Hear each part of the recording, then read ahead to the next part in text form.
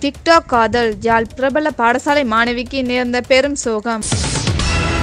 இருபத்தி ஆறாயிரம் பேருக்கு ஆசிரியர் நியமனம் அரசாங்கம் வெளியிட்ட தகவல். மல்லாவியில் துப்பாக்கி பிரயோகம் இளைஞர் பலி. காணொளிகளில் சிக்கிய தேரர்கள் அரசியல் பிக்குகள் பலரை பலி கொண்ட பஸ் விபத்து குறித்து அறிக்கை சமர்ப்பிக்குமாறு போக்குவரத்து அதிகார சபை பணியாளருக்கு ஆளுநர் செந்தில் தொண்டமான் பணிப்பு. தமிழக கடற்தொழிலாளர்களின் அத்துமீறல்களை கட்டுப்படுத்த இந்திய மத்திய மாநில அரசுகள் விரைந்து நடவடிக்கை எடுக்க வேண்டும். டக்ளஸ். பதிமூன்றை முழுமையாக நடைமுறைப்படுத்த வேண்டுமா என்பதை நாமே தீர்மானிப்போம். மஹிந்தானந்த அழுத்கமகே. மன்னம்பிட்டி பஸ் விபத்து. காணாமல் போனோரை தேடும் பணிகள் ஆரம்பம். சாரதி கைது. பதினொன்று பேர் பலி நாற்பத்தி ரெண்டு பேர் காயம். இலங்கை சிங்கள பௌத்தர்களுக்கு மாத்திரம் சொந்தமான நாடல்ல சரத் வீரசேகர தனது நிலைப்பாட்டை மாற்றிக்கொள்ள வேண்டும். மஹிந்தானந்த அழுத்கமகே நாட்டை வக்ரோத்தடைய செய்தவர்களை இனங்காண்பதற்கு நியமிக்கப்பட்டுள்ள குழு கேலிக்குரியது. ஜனாதிபதி ரணில் இது குறித்து அறிவாரா? ஹஸ்டிடி செல்வா கேள்வி.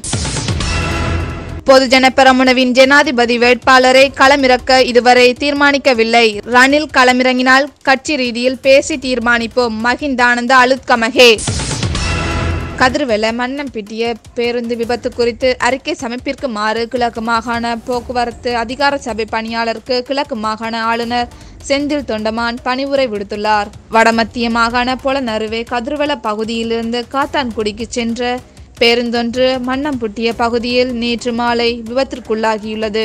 கிழக்கு மாகாணத்தை சேர்ந்த பயணிகள் அதிகமானோர் பயணித்த இப்பேருந்து பொலநறுவை மாவட்டத்தில் விபத்துக்குள்ளாகியுள்ள நிலையில் கிழக்கு மாகாண ஆளுநர் செந்தில் தொண்டமான் கிழக்கு மாகாண பேருந்து அதிகார சபை பணியாளரை விபத்து இடம்பெற்ற இடத்திற்கு விரைந்து சென்று விபத்து குறித்து ஆய்வு மேற்கொண்டு அது தொடர்பில் அறிக்கை ஒன்றை சமர்ப்பிக்குமாறு பணிவுரை விடுத்துள்ளார்.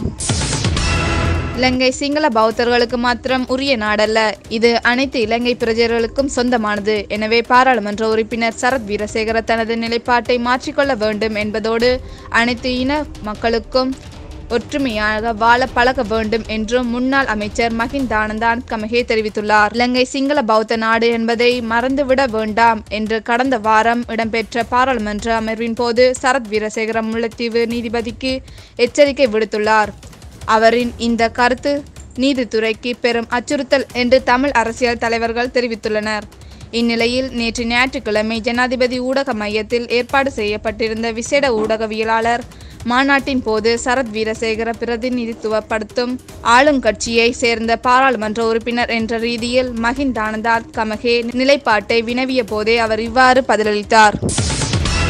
இலங்கை கடற்பரப்பில் அத்துமீறல்களில் ஈடுபடுவது தமிழக கடத்தொழிலாளர்களே அன்றி இலங்கை கடற்படையினர் அல்ல என்று தெரிவித்துள்ள அமைச்சர் டக்ளஸ் தேவானந்தா இலங்கை கடத்தொழிலாளர்களுக்கு பாதிப்பை ஏற்படுத்தும் இந்திய கடற்தொழிலாளர்களின் அத்துமீறல்கள் தொடர்பாக வடக்கு கிழக்கின் சகல நாடாளுமன்ற உறுப்பினர்கள் தமிழக தலைவர்களுக்கும் மக்களுக்கும் தெளிவுபடுத்த முன்வர வேண்டும் என்று தெரிவித்துள்ளார்.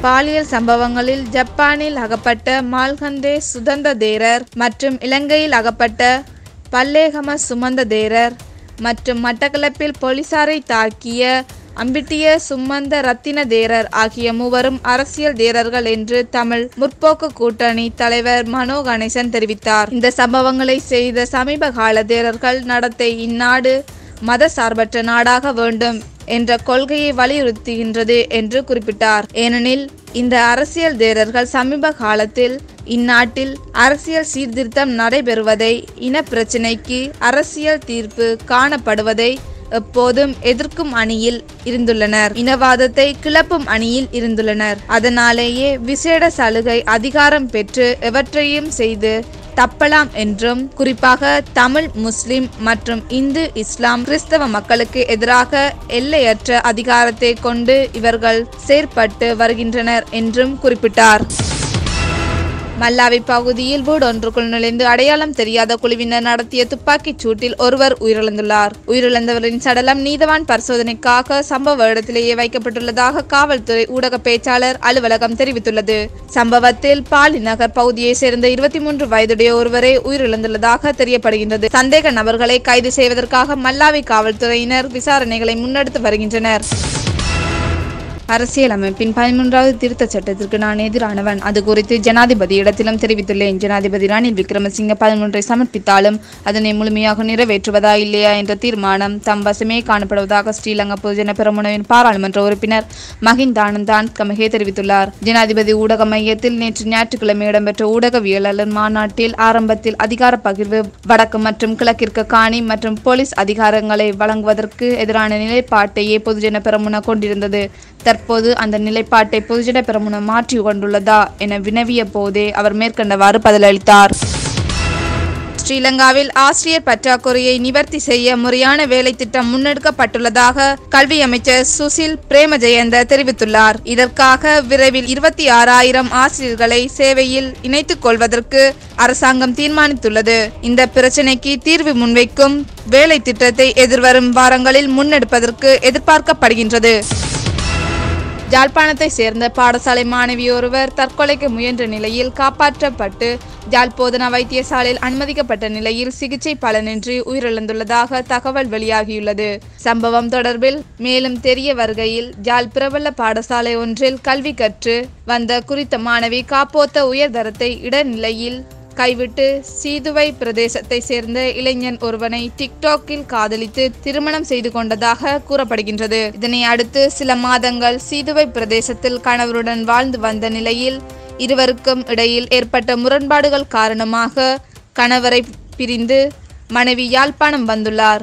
இந்நிலையில் கணவன் தொலைபேசி ஊடாக தொந்தரவு கொடுத்துள்ளதாகவும் மீண்டும் சீதுவைக்கு வருமாறும் இல்லாவிட்டால் காணொளிகள் புகைப்படங்கள் சமூக வலைதளங்களில் பதிவேற்றுவேன் எனவும் மிரட்டியுள்ளதாக கூறப்படுகின்றது.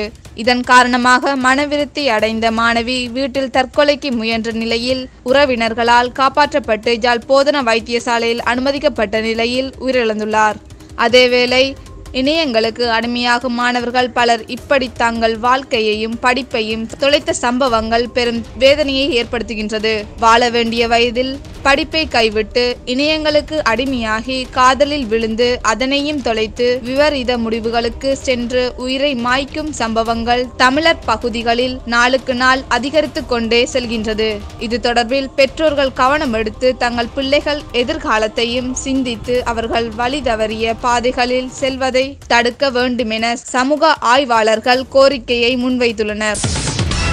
ஜனாதிபதி வேட்பாளர் ஒருவரை பொதுஜன பெரமுனவில் இருந்து களமிறக்குவது தொடர்பில் இதுவரை தீர்மானிக்கவில்லை. மாறாக தற்போதைய ஜனாதிபதி ரணில் விக்ரமசிங்க போட்டியிட்டால் அவரை ஆதரிப்பு தொடர்பில் கட்சி ரீதியில் கலந்துரையாடி தீர்மானிப்போம். எவ்வாறிருப்பினும் எமது ஆதரவின்றி எவராலும் ஜனாதிபதி தேர்தலில் வெற்றி பெற முடியாது என பாராளுமன்ற உறுப்பினர் மஹின் தானந்த அனுத்கமகே தெரிவித்தார். ஜனாதிபதி ஊடக மையத்தில் நேற்று ஞாயிற்றுக்கிழமை இடம்பெற்ற ஊடகவியலாளர் மாநாட்டில் இணைந்து தெரிவித்த போதே அவர் மேற்கண்டவாறு குறிப்பிட்டார். மேலும் அவர் குறிப்பிடுகையில் உத்தேச ஜனாதிபதி தேர்தலில் கட்சி ரீதியில் வேட்பாளர் ஒருவரை களமிறக்குவதற்கு பொதுஜன பெரமுன எந்த ஒரு தீர்மானத்தையும் எடுக்கவில்லை. அவ்வாறு எவரும் கூறவும் இல்லை. எனினும் அடுத்தது யார் ஜனாதிபதியானாலும் அவருக்கு பொதுஜன பெரமுனவின் ஆதரவு நிச்சயம் தேவை என்பதே தெரிவித்துள்ளனர். ராஜபக்சக்களின் கையாட்களை நாட்டை வக்ரோத்தடைய செய்தவர்கள் தொடர்பில் ஆராய்வதற்காக குழுவின் தலைவர்களாகவும் உறுப்பினர்களாகவும் நியமிக்கப்பட்டுள்ளனர். இது கேலிக்குரிய விடயமாகும். ஜனாதிபதி ரணில் விக்ரமசிங்கே இது தொடர்பில் அறிந்திருக்கின்றாரா இல்லையா என்ற ஐக்கிய மக்கள் சக்தியின் பாராளுமன்ற உறுப்பினர் கலாநிதி ஹஸ்டிதி செல்வா கேள்வி எழுப்பினார். கொழும்பில் உள்ள எதிர்க்கட்சி தலைவர் அலுவலகத்தில் நேற்று ஞாயிற்றுக்கிழமை இடம்பெற்ற ஊடகவியலாளர் மாநாட்டில் இணைந்து தெரிவித்த போதே அவர் மேற்கண்டவாறு குறிப்பிட்டார். அவர் மேலும் குறிப்பிடுகையில் நாட்டை வக்ரோத்து அடைய செய்து வறுமையில் உள் மக்களின் எண்ணிக்கையை எழுபது லட்சமாக்கி பின் கதவினூடாக கடந்த ஆண்டு இந்த தினத்தில் தப்பிச் சென்ற கோட்டபாய ராஜபக்ச இன்று நூற்றுக்கணக்கான இராணுவ போலீஸ் உத்தியோகர்களின் பாதுகாப்புடன் அதிசொகுசு வாழ்க்கை வாழ்ந்து கொண்டு வருகின்றார். மன்னம்பட்டி பஸ் விபத்தில் பதினோரு பேர் உயிரிழந்ததுடன் நாற்பத்தி ரெண்டு பேர் காயமடைந்து புலனர்வை போதனா வைத்தியசாலையில் அனுமதிக்கப்பட்டிருந்தனர். ஞாயிற்றுக்கிழமை இரவு எட்டு மணி அளவில் தனியார் பஸ் வண்டி புலனறுவையிலிருந்து காத்தான்குடி நோக்கி சென்று கொண்டிருந்த நிலையில் மன்னம்பட்டி கொட்டடி பாலத்தில் வீழ்ந்து விபத்திற்குள்ளானது. இந்நிலையில் குறித்த பஸ்ஸில் பயணித்த பதினோரு பேர் ஸ்தலத்திலேயே மரணித்துள்ளனர். நாற்பத்தி ரெண்டு பேர் காயமடைந்துள்ளனர். வைத்தியசாலையில் அனுமதிக்கப்பட்டுள்ளதாக குறிப்பிடப்படுகின்றது. மேலும் செய்திகளை அறிந்து கொள்ள எமது ஸ்ரீலங்கா நியூஸ் சேனலை சப்ஸ்கிரைப் செய்து எங்களுடன் இணைந்திருங்கள்.